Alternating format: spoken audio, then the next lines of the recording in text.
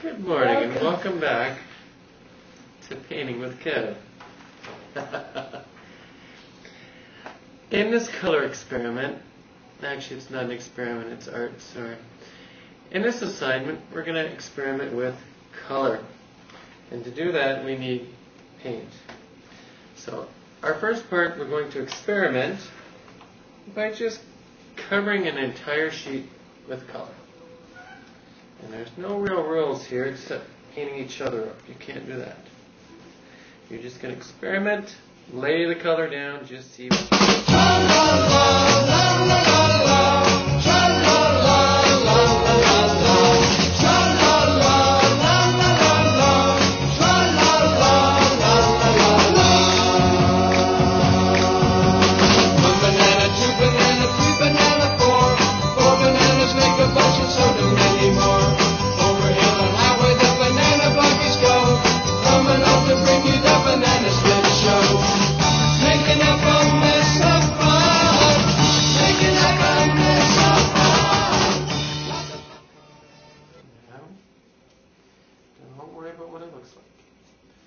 key is with this paint is not too much water, because if you have too much water, it's going to get all wrinkly. You don't want that. So try to limit the water if you can. Not always easy with these little hockey pucks we're using. He scores! There we go. So the idea is to cover an entire large sheet of white cartridge paper with paint. And I kind of like to let the students go and kind of use their own technique and do whatever they can do, within reason, of course, to get it covered beautifully.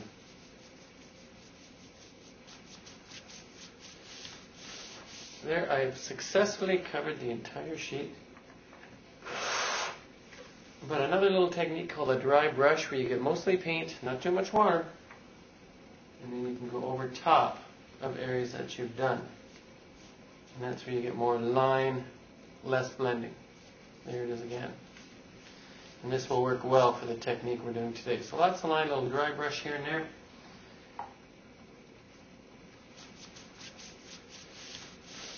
There, I have successfully covered the entire sheet. But another little technique called a dry brush, where you get mostly paint, not too much water, and then you can go over top of areas that you've done. And that's where you get more line, less blending. There it is again. And this will work well for the technique we're doing today. So lots of line, little dry brush here and there. Is this thing on? Yes, it is. All right, now you've got your first step done, not the finished product yet. It's a great opportunity now to chat with your kids and brainstorm maybe about things that are colorful. And we chose to use kind of a wild animal theme. So we took some time brainstorming to see what is a colorful animal, listed them on the board so students have something to choose from. So I've got my animal kind of in my head, and I'm going to take my finished work and turn it over. Not quite dry yet. You'll probably want to wait till yours is completely dry. And you're going to begin drawing parts of your animal. You're not going to draw the whole animal. You want to have just the individual parts. I was thinking of a bright, how about a parrot? Does that sound good? Yeah, she like. So, thinking about a parrot, it's going to have the individual parts, like the feathers. So it doesn't matter where you draw them or what they look like, but I'm going to begin to just draw the different feather shapes. These are probably wing feathers, aren't they, in your beautiful world? And this is just a guide to be cut out later. Doesn't matter where you put them. In fact, some people think the surprises are more fun. I've got some feathers, but I need the body part, so let's just draw a nice oblong, uh, doggone bird body. There we go. There's his body. So here's the bird's body. There's his little head. And there's his. Let me try to take a look and see what we got. Ah, beautiful. And then we can draw all the little bird parts to be reassembled later. The, you'll have a better effect if you draw more individual little parts. The more the better. So you want to just kind of go kind of crazy with the parts. versus parts. So now, now we got them laid out, you want to individually cut out the parts and reassemble them later. And that's when the happy surprises come. When they're all reassembled, you can begin to see ah, our colorful bird is taking shape. He's ready to fly away. Here's his head. And you, I know what you're thinking, that doesn't look like a head. But let me just finish him off.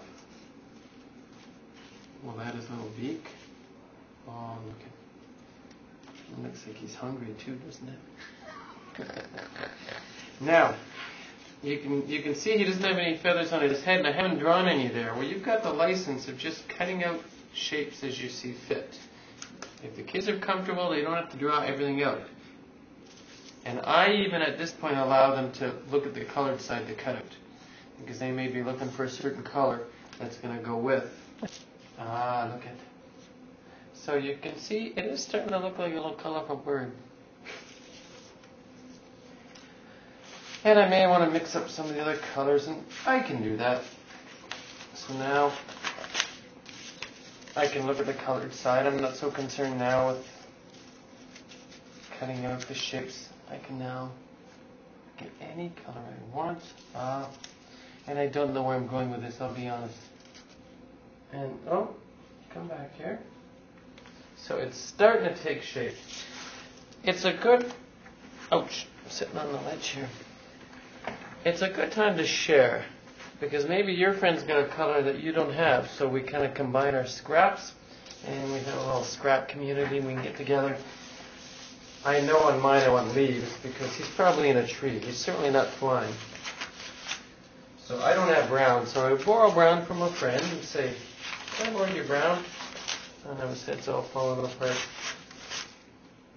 You'll notice no glue has touched my art yet. I'm laying it all out, putting things exactly where I want, making changes.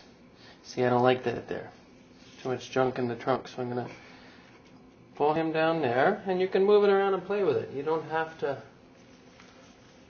you know, glue it all down and then have to unglue it later.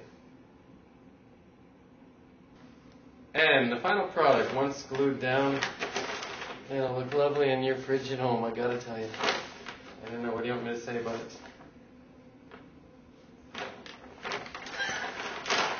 See, mom likes mine best.